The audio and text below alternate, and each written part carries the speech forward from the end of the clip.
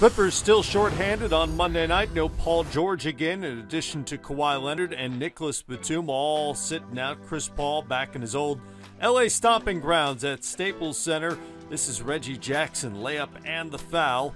Clippers out to a nine point lead early on. Landry Shamet to JaVale McGee. McGee with 13 and 13. And then it's Isaiah Hartenstein with the pass to Luke Kennard for the layup. He went for 16. Chris Paul, the steal, goes behind the back here to Mikal Bridges for the dunk.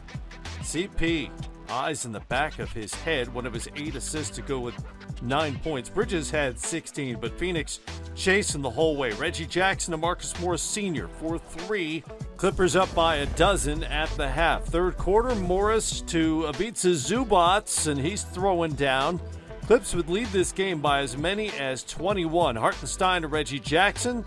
He's got the floater game going. Reggie Jackson again down the lane for the layup. 19 points for Jackson.